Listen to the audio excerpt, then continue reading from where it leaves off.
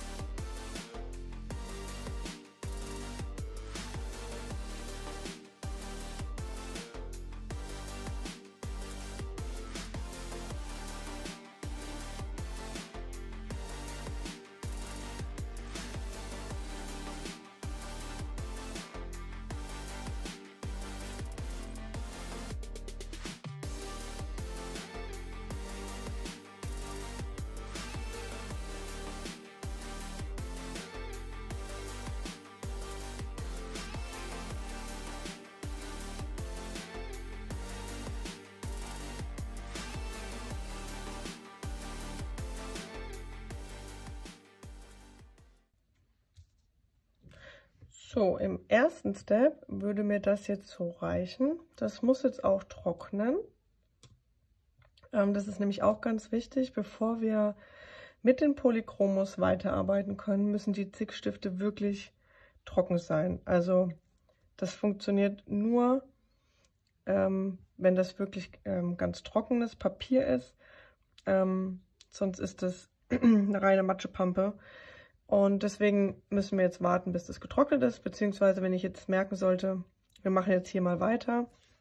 Das ist nachher noch nicht ähm, getrocknet, dann äh, kann ich das mit einem Heißluftföhn trocken föhnen, aber normalerweise ähm, reicht es dann von der Zeit her, wenn ich jetzt hier ein bisschen weiter arbeite. Deswegen würde ich jetzt ähm, im, im Normalfall würde ich jetzt hier mal die Mütze machen und mir den Stempelblock einmal sauber machen.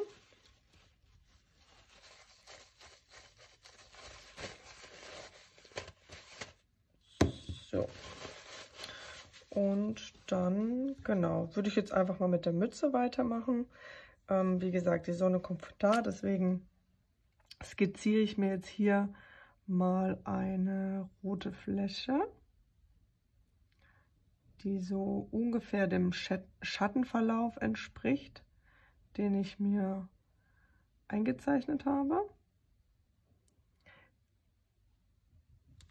Dann kann ich das nämlich aus der Ecke heraus immer schön vermahlen. Und dann habe ich eigentlich immer schon einen sehr schönen Übergang. Also ich löse mir hier die Kante wieder an und ziehe mir einfach die Farbe quasi in das restliche Motiv rein.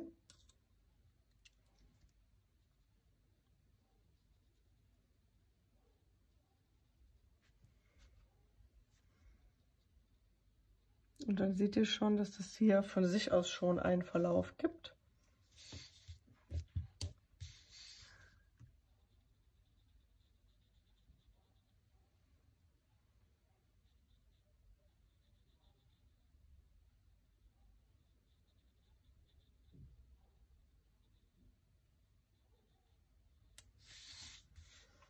Und so für den ersten Step ist das ja schon eigentlich ein sehr schöner Verlauf, aber jetzt ist mir natürlich die Mütze noch ähm, viel zu hell. Und jetzt nehme ich wieder hier die Farbe auf meinen Stempelblock und versuche da jetzt ein bisschen das zu intensivieren. Weil dieses Rot ähm, wirkt am Anfang, wenn das noch nicht so richtig satt ist mit Farbe. Ein bisschen wie so ein helles Rosa.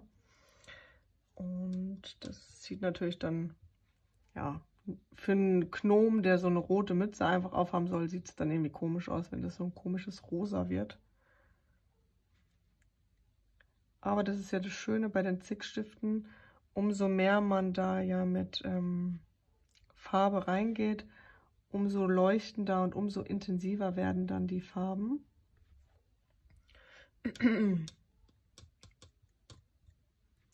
Und das ähm, Geranium Red ist auch wirklich ein guter Rotton, der sich gut vermalen lässt und auch schön intensiv ist. Bei den äh, neuen Zickstiften hatte ich mir auch ähm, die Rottöne mitbestellt, die neu gekommen sind. Die lassen sich äh, leider nicht ganz so gut vermalen, da gibt es mehr Kanten. Und ähm, das war auch bei den Grautönen so. Deswegen, ja, bleibe ich da bei der bisher altbekannten, gut genutzten Farbe aus der Box.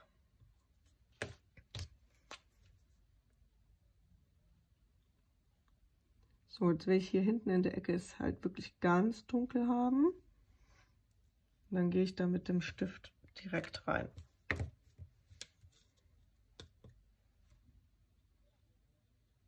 Und dann versuche ich auch nur noch vorne so ein bisschen an der Kante entlang zu gehen mit Wasser, damit hinten die Farbe natürlich auch erhalten bleibt.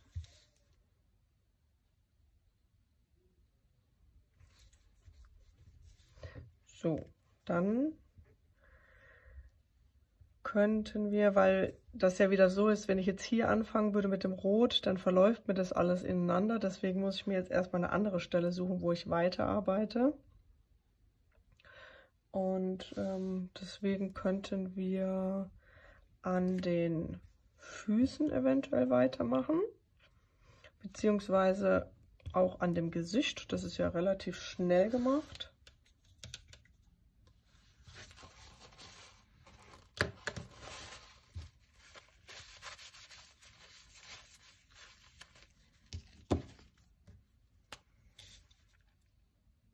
Dann nehme ich jetzt äh, das Blush und gebe mir hier einfach auch ein bisschen Farbe rein.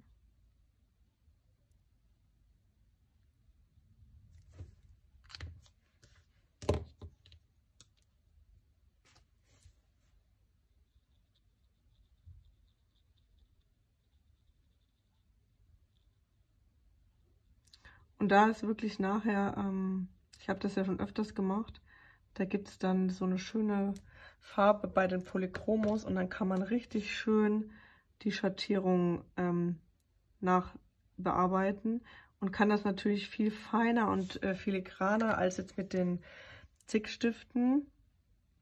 Ähm, weil wenn man die dann ganz spitz anspitzt, die Polychromos, dann kommt man halt wirklich so ganz sauber in die Ecken und ähm, kann dann wirklich sehr schöne Details einfach zeichnen, die man mit den Zick zwar auch hinbekommt, aber ich muss wirklich sagen, äh, mit den Polychromos als Ergänzung filigraner ähm, kriegt man es dann meiner Meinung nach auch gar nicht mehr hin. Also es gibt ja auch andere, die kolorieren, keine Ahnung, jetzt mit Copics oder zum Beispiel, ähm, die dann auch im Nachgang nochmal mit den Polychromos nach arbeiten, weil das einfach ja einen schönen Effekt gibt. Ja, dann könnte man jetzt das nächste Holzelement nochmal machen.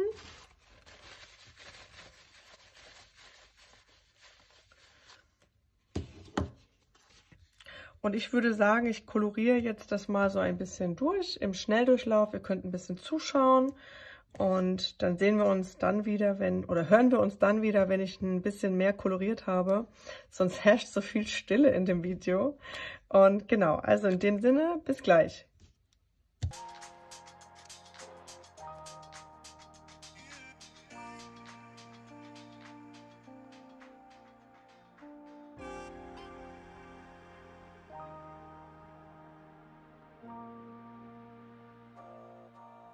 We'll be right back.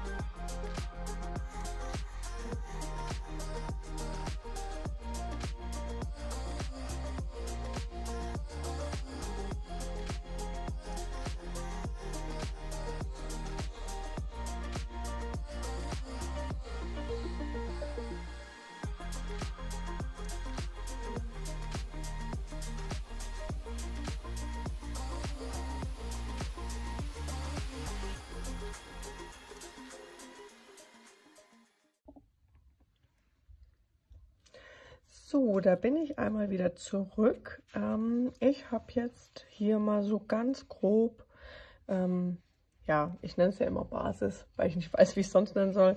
Also einmal mit den Zickstiften auf jeden Fall mal grob koloriert. Und ähm, das sieht auch erstmal so nicht schlecht aus. Aber ich finde einfach, es fehlen noch die Details. Und die Schattierungen sind so in Ansätzen da. Aber ich ähm, weiß einfach, dass ich mit dem Polychrommuster einfach noch ein bisschen mehr rausholen kann. Und deswegen habe ich mir jetzt mal hier die Polychromos rausgeholt.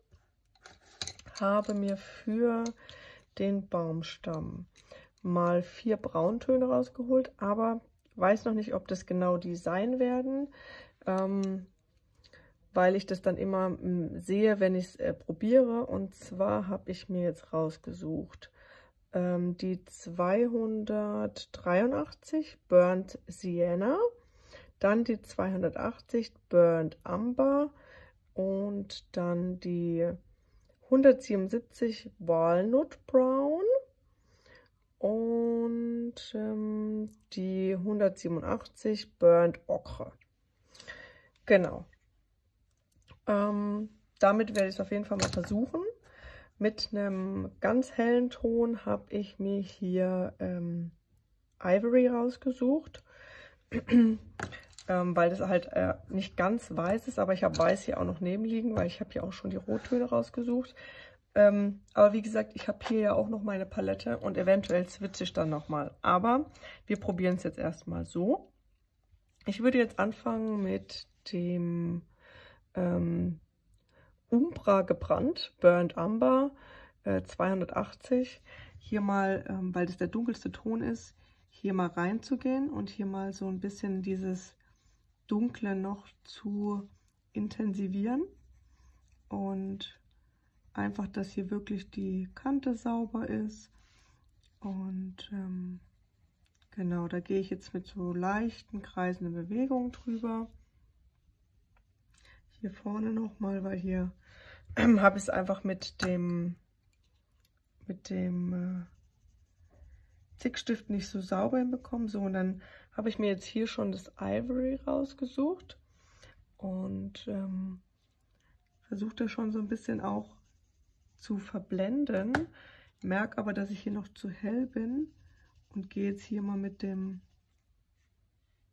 ähm, Okra, Ocker rein und ähm, einfach um hier so ein bisschen, also wirklich nur so ganz leicht, dass hier noch so eine andere Farbabstufung abgegeben wird, damit es nicht so gleichwertig aussieht die ganze Zeit, weil ein Baumstamm hat ja eigentlich auch mehrere Braunnuancen und das versuche ich hier jetzt einfach auch so ein bisschen ja, wiederzugeben, wiederzuspiegeln. Und ihr seht schon, die Polychromos ähm, legen sich, also ich weiß nicht, wie ich das nennen soll, aber die legen sich einfach so schön schon über diese Farben drüber, dass sie sehr intensiv schon wieder rauskommen.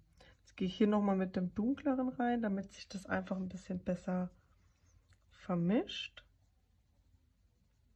Und wichtig ist hier, dass ihr nicht zu feste aufdrückt. Ne? Also die Polychromos sind ja auf Ölbasis, ähm, das heißt, die legen sich da wirklich drüber.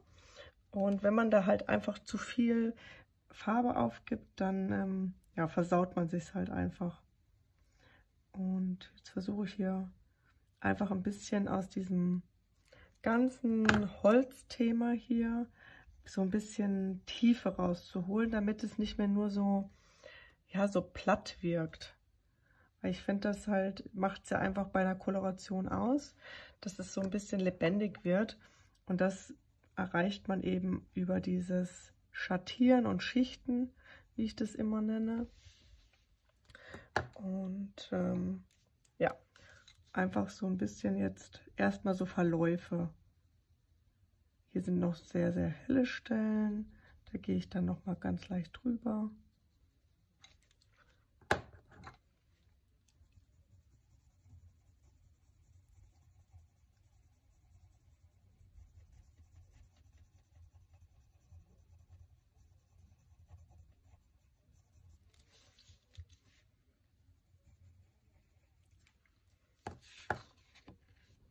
Ich euch das schon mal so. Das ist schon mal so Step 1, sage ich mal. Ne? Also wir haben jetzt so ein bisschen noch die Tiefe intensiviert. Und jetzt, damit der Baumstamm auch noch so ein bisschen diese holzige Struktur bekommt, gehe ich jetzt hier einfach auch so ein bisschen mit so Linien und einfach so ganz unregelmäßig so da ein bisschen und hier ein bisschen einfach rein und versuchst so ein bisschen die Holzstruktur, also so Rinde und sowas einfach mal darzustellen. Das finde ich zum Beispiel nicht ganz einfach, weil ja, das ist so ein bisschen halt Bauchgefühl und ähm, aber im Endeffekt, so wie ihr das seht, ich gehe einfach nur mit so, so gestrichelten Linien rein, um einfach so ein bisschen dieses Holz wiederzugeben, damit das eben nicht nur so eine Fläche ist. Weil vorher mit den Zickstiften war es halt irgendwie nur wie so eine Fläche. Und in dem Moment, wo ich jetzt hier diese Holzmaserung, Rinde reingebe, bekommt es halt wirklich dann dieses Lebendige. Ja, und da muss ich tatsächlich schon sagen, ich finde das jetzt hier eigentlich schon gar nicht so schlecht. Dann gebe ich mit diesem Ivory Stift einfach nochmal so helle Lichtreflexe rein. Wenn ich jetzt hier merke, okay, das ist noch zu hell an dieser Stelle oder hier vorne an dieser Kante, dann kann ich da auch nochmal mit dem äh, Polychromo-Stift nacharbeiten, weil ich halt einmal, ähm, wie soll ich das sagen, also einmal gehe ich halt sehr sanft rein und einmal mache ich sehr harte Striche. Und in dem Moment, wo ich diese harten Striche mache, ähm, kann ich dann auch einfach nochmal ganz leicht drüber gehen, weil ähm, diese harten Kanten einfach erhalten bleiben. Das ist auch ein bisschen ähm, nicht so einfach zu erklären, muss ich sagen, weil, ähm, ja, weil Holz, wie gesagt, ist so eine Struktur, die lebt halt von den Tiefen halt auch, der Rinde und ja. Also es ist auch äh, für mich nach wie vor nicht einfach, das richtig darzustellen. Und das ist auch Geschmackssache. Andere machen es wahrscheinlich ähm, nochmal ganz anders da. Aber für mich ist es so eine Technik, wo ich jetzt sage, ja, das gefällt mir so. Sieht auch nicht ganz äh, verkehrt aus. Und ähm, ja, also ich habe jetzt hier einfach nochmal so ein bisschen versucht, hier so, weil das ja so vorsteht, einfach so ein bisschen anzudeuten mit einer leichten Schattierung, dass das hier so einfach raussteht. Und wenn ich jetzt hier das Gefühl habe, mir ist dieser weiße Strich doch zu dominant, dann gehe ich hier einfach nochmal so leicht drüber. Und hier oben versuche es dann noch mal ein bisschen heller zu machen. Aber tatsächlich muss ich sagen, würde ich das jetzt so schon lassen. Also ich finde, das kann man schon als Holzstamm ähm, durchgehen lassen. Ja, und wenn ihr jetzt so zum Vergleich den hier neben seht, dann finde ich, sieht man schon einen Unterschied, dass hier das einfach mehr nach Holz aussieht und hier ist es einfach noch sehr, sehr flächig. Ja. Ich hoffe, man versteht einigermaßen, wie ich es meine. Es ist, ja, fällt mir im Moment äh, tatsächlich ein bisschen schwer, auch das genau zu erklären. Aber, genau, könnt mir auch einfach mal in den Kommentaren noch reinschreiben, ob das einigermaßen verständlich war oder ob ihr sagt, nee, das hat sie diesmal irgendwie komisch erklärt. So, und hier hinten ist ja, weil wir ja gesagt haben, hier nach unserer Skizze, äh, das Licht fällt so, ist hier nach hinten natürlich ganz dunkel, der Stamm, und hat eigentlich so keine hellen Richt Lichtreflexe.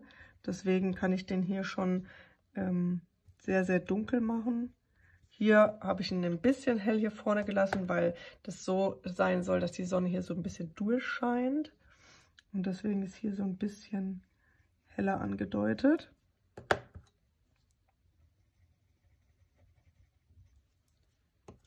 Und weil das jetzt hier so dunkel ist, dann gehe ich jetzt hier mit dem dunkelsten, den ich mir rausgesucht hatte, und dieses Walnuss. Versuche jetzt hier auch noch diese Struktur ein bisschen reinzugeben. Aber es ist natürlich hier hinten nochmal wesentlich schwieriger, weil man da jetzt ja quasi fast nichts sieht.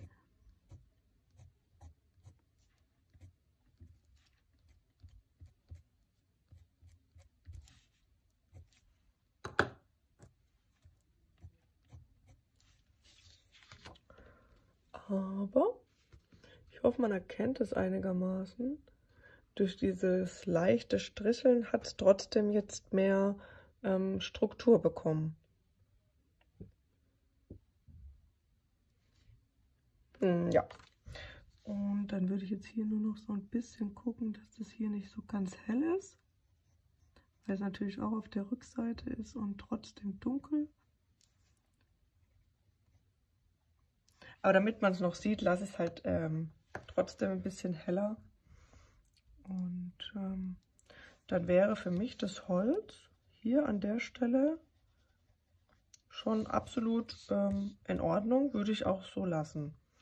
Und ähm, hier unten jetzt zum Beispiel kann man noch mal ein bisschen dunkler sein, weil das halt wirklich komplett im, im Schatten ist und man da eigentlich nicht so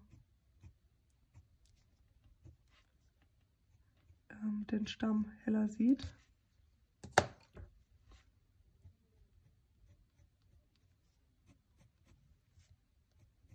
Es ist halt auch wichtig, ähm, dass man eben auch mit verschiedenen Brauntönen arbeitet. Das ergibt eben am Ende auch dieses, ähm, diesen Verlauf. Ist allein auch dem geschuldet, weil ich hier jetzt mit verschiedenen Brauntönen äh, arbeite. Natürlich, wenn man das jetzt so sieht, ähm, sieht man zwischen den beiden kaum einen Unterschied, aber von der Abstufung hier sieht man schon, dass das der hellere Mittel und dunkel, dass das die dunklen Töne sind. Also deswegen, ich sage ja auch immer, wenn ich koloriere, ähm, braucht man mindestens drei bis vier Farbabstufungen, um schöne Ergebnisse zu bekommen. genau. Dann ähm, würde ich tatsächlich mit der Mütze weitermachen. Und zwar habe ich mir hier jetzt auch ähm, diese drei Rottöne und Weiß ausgesucht. Kann auch sein, dass ich das Weiß wieder durch das Ivory ersetze. Das ist immer so, ja, wie es dann ähm, rüberkommt. Das letzte Mal bei der anderen Karte hatte ich aber, glaube ich, auch Weiß genommen. Deswegen probiere ich es nochmal mit Weiß. Und hier habe ich als Rotton ähm, Cadmiumrot Mittel 217 dann ähm, dunkelrot in 225 und permanent Karmin in 126. Also das würde ich jetzt mal versuchen, weil ich möchte mir natürlich jetzt hier auch das, diese helle äh, Farbe nicht so ähm, arg dunkel machen, aber trotzdem versuchen, das Rot noch ein bisschen gleichmäßiger zu, hinzubekommen, weil es mir noch zu fleckig ist und auch noch nicht intensiv genug. Und deswegen starte ich jetzt hier mal mit dem äh, Permanentkamin, weil das war jetzt von den Rottönen der hellere Ton. Und dann gehe ich jetzt hier einfach auch mit zuerst mal leichten, kreisenden Bewegungen so drüber. Und ich finde schon, dass man, wenn man nur einmal so leicht drüber gegangen ist, man sieht schon, dass da eine richtig tolle Struktur entsteht. Und wenn ich jetzt ähm, mit dem Weiß hier nochmal reingehe, dann bekomme ich das auch hin, dass sich das A nochmal mehr verblendet und dass ich hier nochmal so diesen Lichtpunkt ähm, rausarbeiten kann, weil dieses Weiß auch wirklich sehr deckend ist und ähm, ja, einfach deckt und sich auch gut verblenden oder vermischen lässt mit diesem Rot von eben. Und ich habe da ja noch gar nicht drauf gedrückt, also keinen Druck ausgeübt. Und deswegen lässt sich das richtig gut verarbeiten.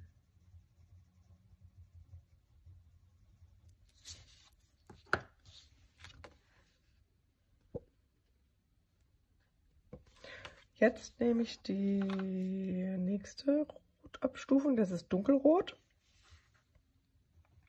Und da fange ich jetzt hier hinten an, weil das soll ja hier hinten wirklich dunkel sein und soll sich ja dann so auslaufen. Deswegen gehe ich hier hinten auch schon mit mehr Druck rein als jetzt ähm, davor. Und dann gehe ich hier so leicht wieder über die Kante.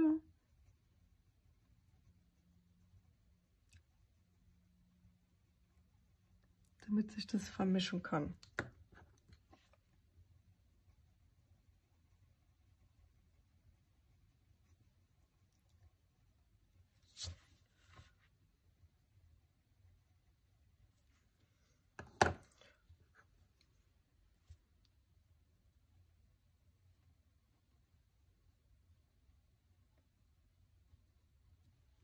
So, okay. Also das finde ich jetzt auch, jetzt sieht man auch so ein bisschen den Unterschied.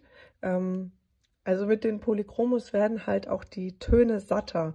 Also das ist hier jetzt ja noch so, ja, so leuchtend, aber es hat irgendwie noch nicht so viel Tiefe und das bekommt man einfach hin mit den äh, Polychromos.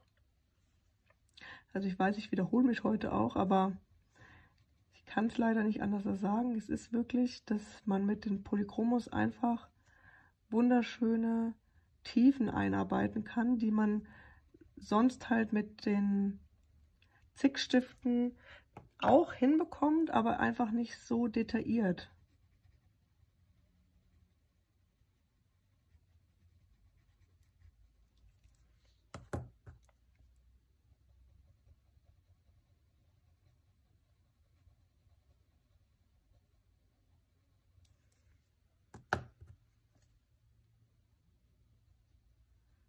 Mir das jetzt hier zum Beispiel so ein bisschen zu rosa stichig ist, dann gehe ich da halt auch noch mal flächig drüber.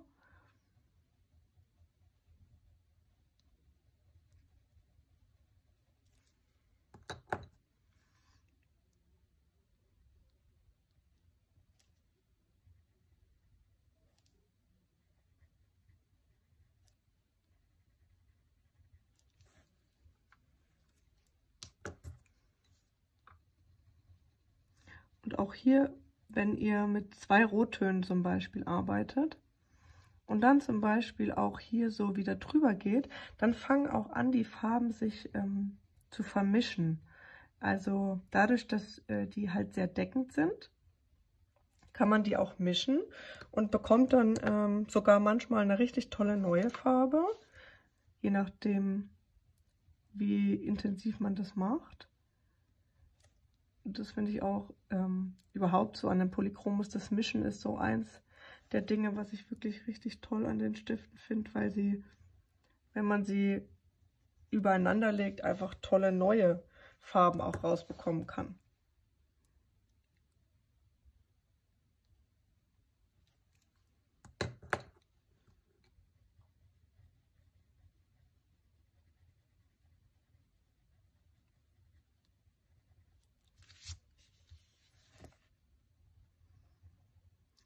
Und wenn ich jetzt zum Beispiel auch mal merke, ich habe eine Kante, die mir nicht so gefällt, muss ich mal kurz hier rüber greifen, dann habe ich hier meinen ähm, Radierer.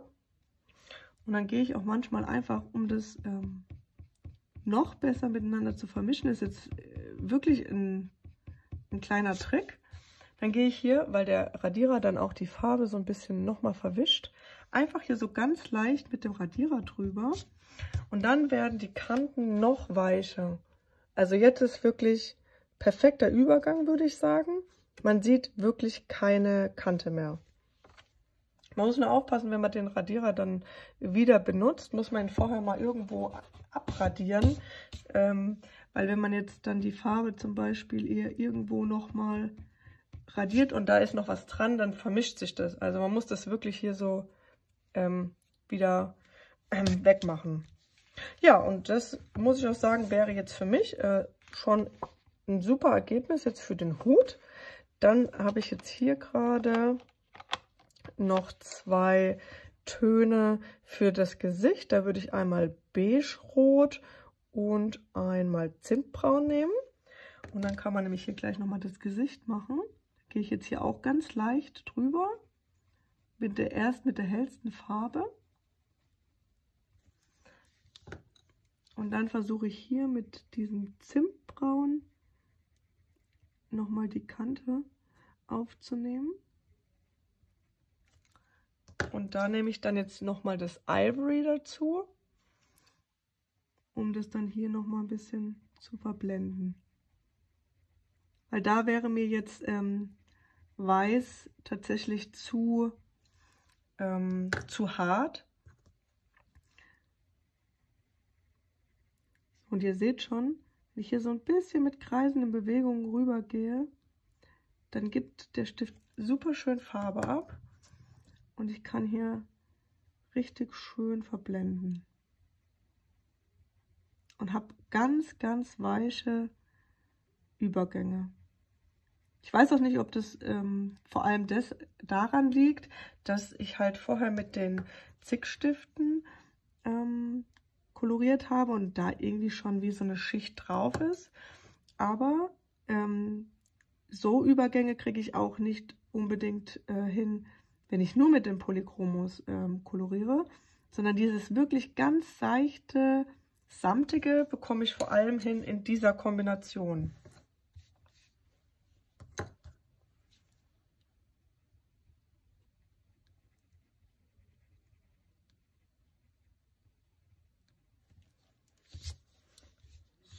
Ich zeige es euch nochmal. Also, sieht doch eigentlich schon ganz gut aus. Bei dem Bart zum Beispiel von dem Gnom habe ich auch schon mal so grob die Struktur eingearbeitet. Und ähm, das werden wir jetzt verfeinern. Da habe ich hier meine Graupalette. Und dann nehme ich mir hier einmal so ein ja, silbrig-grau. Das ist äh, Kaligrau 3. Kal ach, nicht Kaligrau. Wer lesen kann, ist klar im Vorteil. Kaltgrau 3. Und dann nehme ich mir noch einen hellen. Da nehme ich Kaltgrau 2. Und dann nehme ich mir noch einen dunkleren. Dann nehme ich dann entweder Warmgrau 5 oder 4. Gut, das sehe ich dann noch. Also, das wäre jetzt hier so meine Farbauswahl. Ich starte wieder mit, ähm, mit dem, diesmal starte ich mit dem mittleren und versuche erstmal hier mir so die Schattenbereiche auszuarbeiten. Und da wäre auf jeden Fall hier um die Nase rum das erstmal so. Und dann fange ich auch schon an, hier so die Struktur von so Haaren einfach anzudeuten.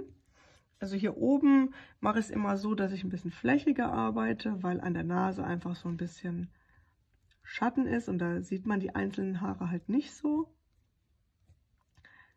Und dann gehe ich hier schon mit dem hellen Grau noch mal rein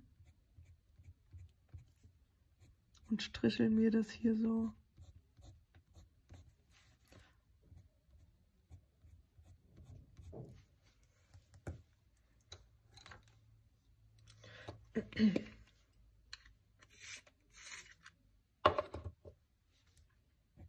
Hier kann man jetzt wieder mit Weiß arbeiten, weil das ist ja Grau und Weiß passt ja gut.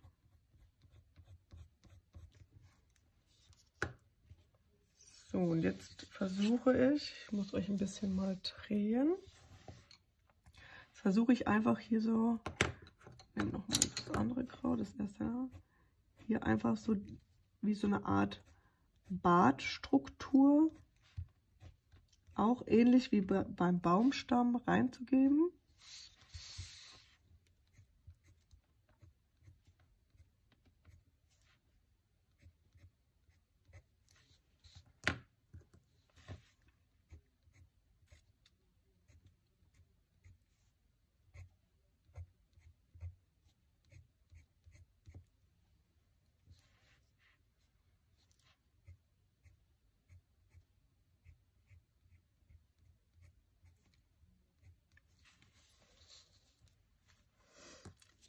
So, und weil das jetzt ähm, ein bisschen sehr gleichwertig geworden ist, würde ich jetzt nochmal mit dem äh, hm, Warmgrau 5 versuchen, Ich muss mir den mal kurz anspitzen, der ist vorne sehr breit. Ähm, Nochmal so ganz kleine Details einzuzeichnen.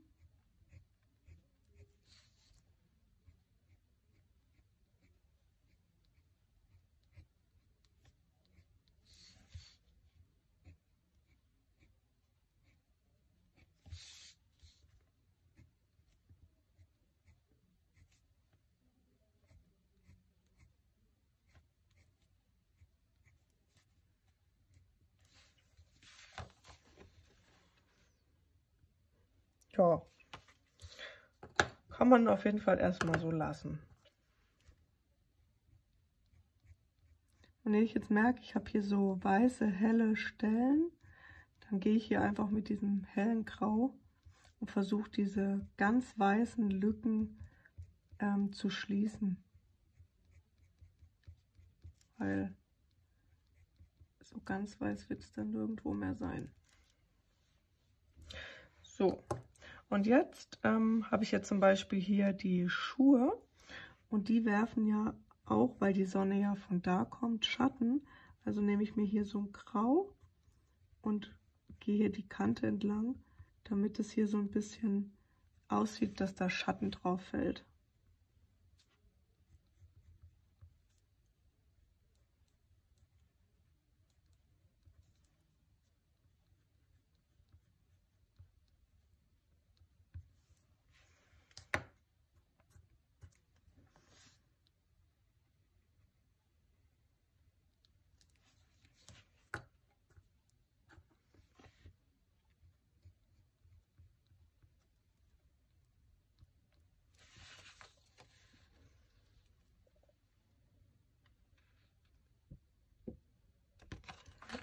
Man hier noch ein bisschen.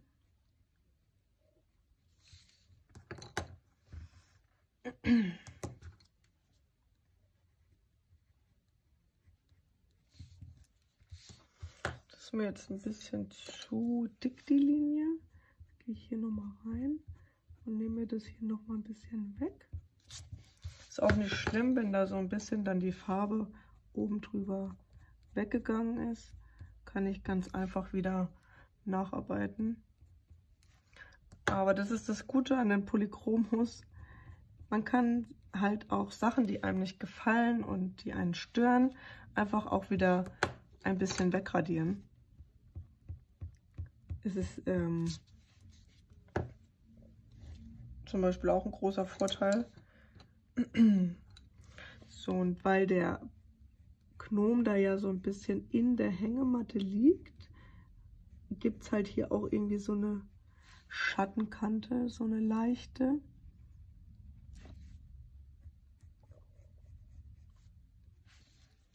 So, den würde ich jetzt erstmal so lassen.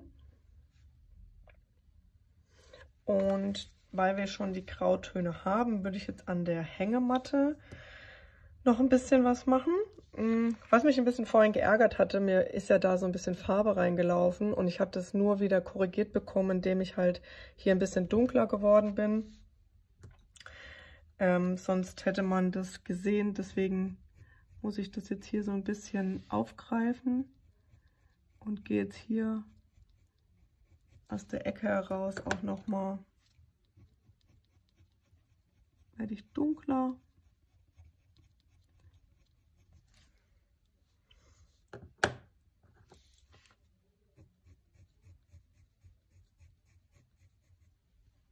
Seht ihr das eigentlich gut? Ich war hier so vor mich hin und sehe gar nicht so richtig, ob was ihr seht. Und auch hier, ne, hier war jetzt eben gerade eine richtig harte Linie und die habe ich jetzt komplett aufgelöst bekommen, weil ich hier mit dem Polychromo drüber gegangen bin. Ich kann jetzt auch hier wenn ich hier mit Weiß öfters drüber gehe, dann kriege ich das auch ein bisschen wieder heller. Hier auch. Weil ich möchte ja, dass hier so schönes helles Licht ist.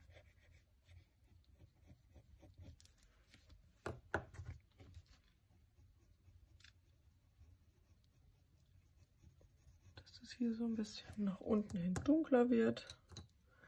Weil hier unten natürlich nicht so das Licht hinkommt.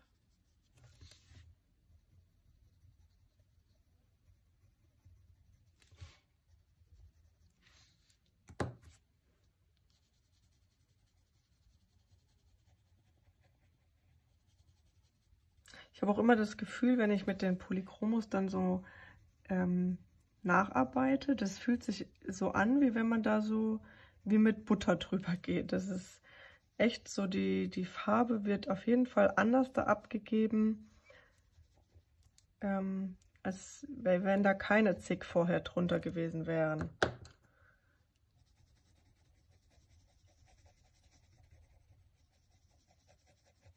Ich meine, das hier ist ja jetzt zum Beispiel auch ähm, Aquarellpapier logischerweise, weil die Zickstifte ja mit Wasser vermalt werden.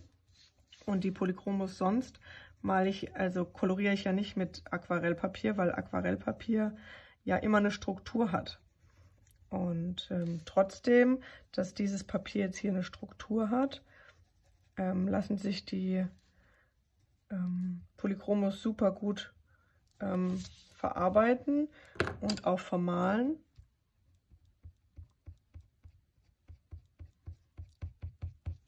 Ohne dass man jetzt hier diese, wie soll ich sagen, Riffelstruktur sieht.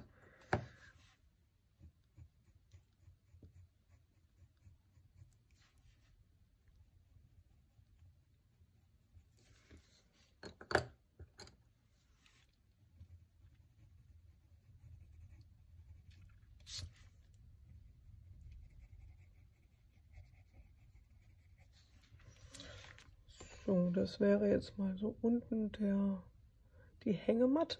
Jetzt mache ich hier noch die Seiten, die Schlaufen sozusagen.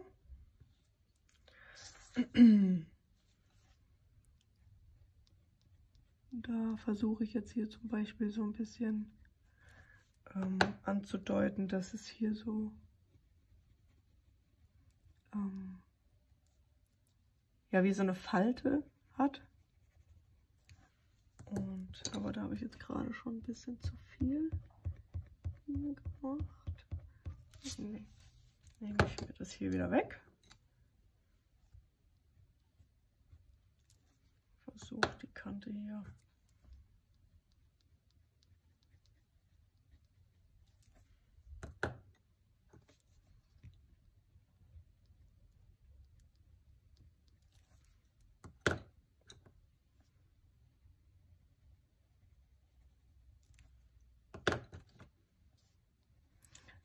Also ihr seht auch, ich wechsle ganz, ganz oft die Stifte. Immer hin, her, hin, her. Ähm, einfach weil ich immer sehe, okay, hier muss ich noch ein bisschen nacharbeiten und das ist halt so ein Prozess, sage ich mal. Da kommt man aber irgendwann rein. Also man merkt irgendwann, okay, jetzt brauche ich doch mal einen helleren Ton, einen dunkleren Ton. Das ist wirklich Übungssache.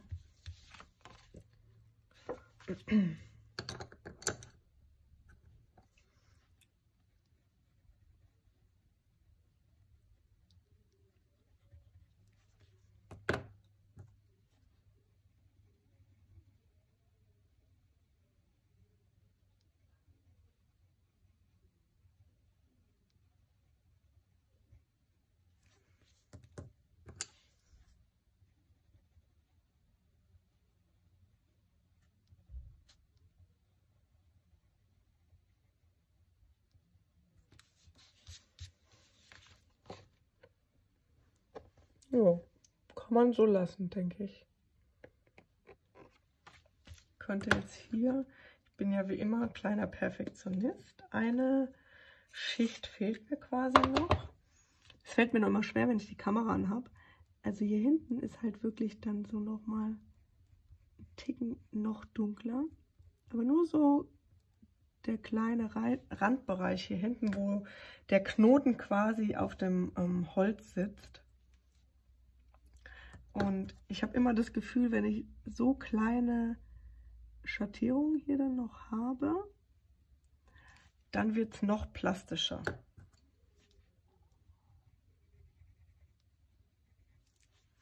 Ja, so lasse ich das jetzt mal. Und jetzt habe ich noch auf der anderen Seite, da habe ich halt wieder das Thema, ne, dass ähm, ganz viel ähm, verdeckt ist. Und deswegen ist es hier tendenziell ein bisschen anders da wie drüben, ein bisschen dunkler.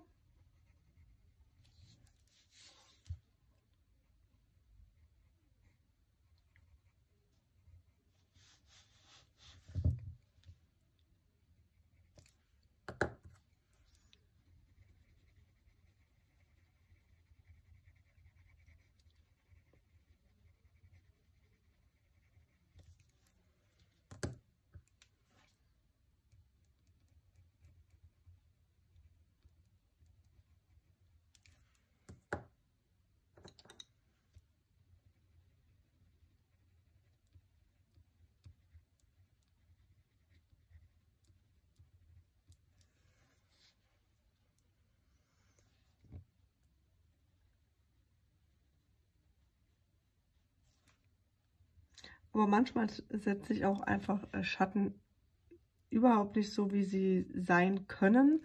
Einfach nur, weil es wirklich schöner aussieht. Also zum Beispiel habe ich jetzt hier ja auch so einen kleinen Lichtpunkt gesetzt. Der wäre da aber so wahrscheinlich nicht, weil halt das Licht so fällt und das wirklich da einfach dunkel ist. Aber ich setze halt, wie gesagt, Schatten nach, wie es mir gefällt und nicht immer unbedingt, wie es realistisch ist. Aber das kann ja auch jeder zum Glück entscheiden, wie er das mag. Und ähm, ja.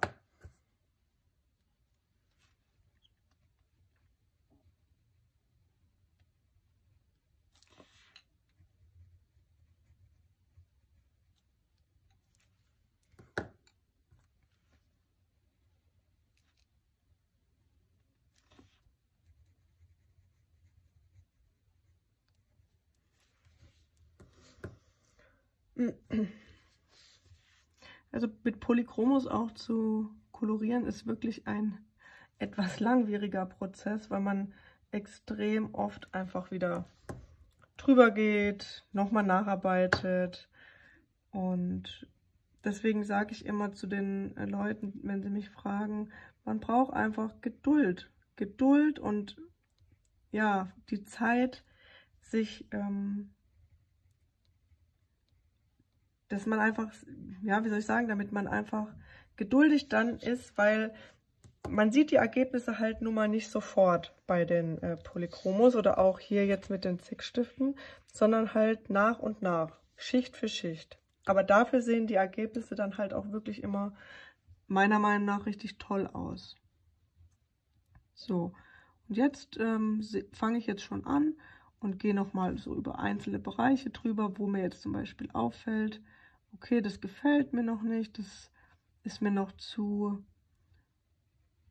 zu, zu platt, nicht plastisch genug, zum Beispiel jetzt hier an der Nase, fehlt mir einfach jetzt so ein bisschen dieser Schatten, der da noch ist, oder auch hier die Kante.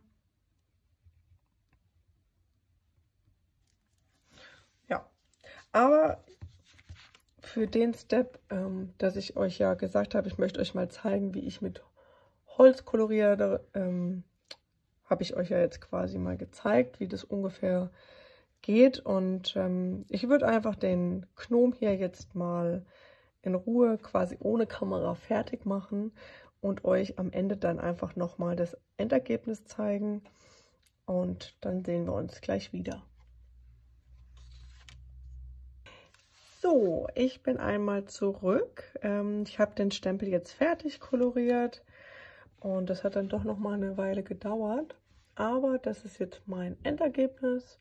Ich habe dann noch mal ein bisschen die Blumen gemacht, ein bisschen das Gras und einfach so den Feinschliff, weil wenn ich halt hier die Kamera vor der Nase habe, kann ich das nicht so gut sehen, ähm, wie wenn ich das dann noch mal in Ruhe nacharbeiten ähm, kann. Aber wie gesagt, das ist jetzt das Ergebnis und noch mal so ein bisschen zum Vergleich. Ne? Das ist so vom Stempelset selber so das Bild und dann das, was ich jetzt draus gemacht habe. Und ich finde, das sieht schon ganz ähnlich aus.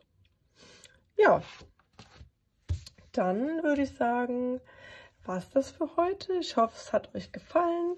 Ihr konntet ein bisschen was äh, daraus lernen und für euch mitnehmen. Und ja, dann sage ich auf jeden Fall mal Tschüss, bis zum nächsten Mal und äh, genießt noch euer Wochenende. Macht's gut!